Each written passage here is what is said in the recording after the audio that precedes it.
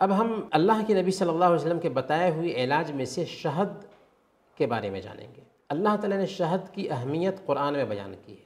सुर आयत नंबर 79 में बयान फरमाया, यखरजो मिन बतूनिहा शराबुन मुख्तलिफ़ अलवानुहु फ़ी है शिफ़ाउन्नास शहद कैसा होता है? किस शक्ल का होता है? देखा है आपने, हर कलर वाइट भी होता है। जी। अल्लाह ताला फरमाता है कि उनके पेट से, यानी शहद की मक्खी के पेट से रंग बिरंग का मशरूब निकलता है।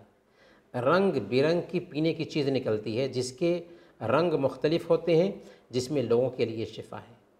यानी वो जो शहद है, शहद का रंग अलग अलग होता है और उसमें लोगों के लिए शिफा है। गोया कि अल्लाह ताला ने दो बातें इसमें कही कि एक मक्खी के पेट से निकलने वाली चीज़, नहायत मीठी चीज़ होती है, उसका रंग भी अलग होता है और उसमें लोगों के लिए शिफा है। गोया के अल्लाह का जो बताया हुआ इलाज है, इसमें सौ फ़ीसद फ़ायदा ही फ़ायदा होगा। चुनानचे सही बुखारी और सही मुस्लिम की एक हदीस आती है। अबू सईद खुदरी रदी अल्लाह तु बयान फरमाते हैं कि एक आदमी अल्लाह के नबी सल्लल्लाहु अलैहि वसल्लम की सेवा में आया और उसने कहा कि मेरे भाई को पेट की बीमारी है। बीमारी क्या थी? पेट झरता था। उस, इस हाल की बीमारी कहते हैं उसको। पेट झरना, बहुत ज़्यादा पैखाना होना।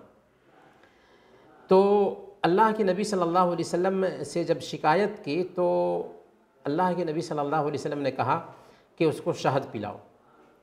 वो गया, शहद पिलाया, दूसरी बार आया, कहा कि, या रसूल अल्लाह अब तो और ज़्यादा इस हाल होने लगा है। तो आपने कहा कि, जाओ, दोबारा शहद पिलाओ। दोबारा शहद पिलाया, फिर इस हाल बढ़ गया तो कहा, फिर आकर के शिकायत की।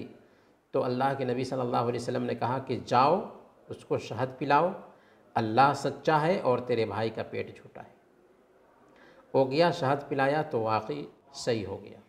मतलब क्या हुआ? असल में वो जो शहद पिला रहा था, इस मकदार में नहीं पिला रहा था, जिस मकदार में फ़ायदा होता है। तो इससे पता ये चला कि कोई भी चीज़ हम इस्तेमाल करते हैं तो उसमें शिफा होती है। लेकिन जिस मकदार में डॉक्टर बताता है, उसी मकदार में उसको इस्तेमाल करेंगे तो वो हमारे लिए फ़ायदा मंद होता है। कभी कभार कोई चीज़ जिसमें फ़ायदा होता है, अगर ज़्यादा मकदार में इस्तेमाल कर लें तो उसका नुकसान भी होता है और कम मकदार में इस्तेमाल करें तो फ़ायदा नहीं दिखता। तो वो आदमी जो अपने भाई को शहद पिला रहा था, इतनी मकदार में, इतनी मात्रा में नहीं पिला रहा था जिससे फ़ायदा हो सके। जब उसने एक जो उसकी मकदार होती, एक मात्रा होती, उतनी मात्रा में पिला दिया तो फ़ायदा ज़ाहिर हो गया और पेट से जो गलादत निकल रही थी बार बार वो निकलना बंद हो गई।